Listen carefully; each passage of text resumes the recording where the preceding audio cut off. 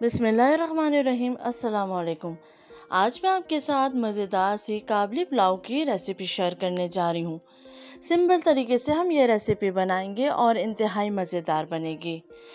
Recipe start करने से पहले चैनल पर नए हैं तो प्लीज़ सब्सक्राइब कर लीजिए, साथ बेल आइकन दबा दीजिए। चलिए हम रेसिपी को स्टार्ट करते हैं। टू टेबल स्पून ऑयल ले लिया है। उसके बाद मैंने यहाँ पर ली है एक प्याज, जिसको मैंने स्लाइस्ड कर लिया था। इसको इतना फ्राई करना है कि गोल्डन ब्राउन हो जाए। जब प्याज गोल्डन ब्राउन हो जाएगी तो हम इसमें मसाला ऐड करेंगे। यहाँ पे मैं ऐड कर रही हूँ एक तेज़पात और थोड़ा सा गरम मसाला, जिसमें दो टुकड़े दालचीनी के हैं छः से सात काली मिर्चें साबुत, तीन लौंगे और एक बड़ी इलायची। इन तमाम चीज़ों को डाल के थोड़ा सा फ्राई करेंगे। प्याज भी गोल्डन ब्राउन हो चुकी है। अब हम इसमें ऐड कर रहे हैं हाफ़ टी स्पून अदरक लहसुन का पेस्ट। और थोड़ा सा फ्राई कर लेंगे। यहाँ पे मैंने ले लिया है एक टमाटर, जिसको मैंने बारीक चॉप कर लिया था।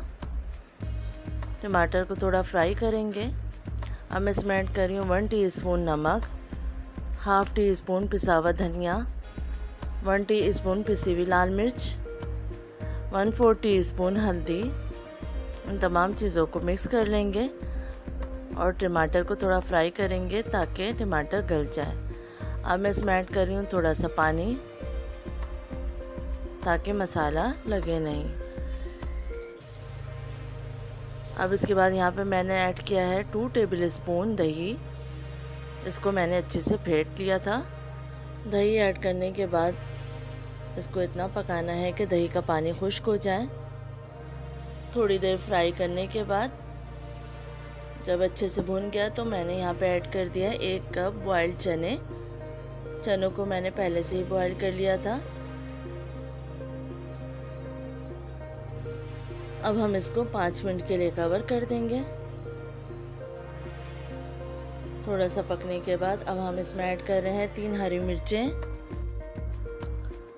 अच्छे से भूनने के बाद अब हम इसमें ऐड कर देंगे एक लीटर के करीब पानी।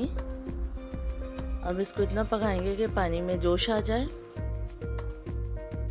इसमें मैं एक कप चावल ऐड करने जा रही हूँ, जिसको मैंने पहले से ही वॉश कर लिया था। यहाँ मैंने बासमती चावल लिए हैं।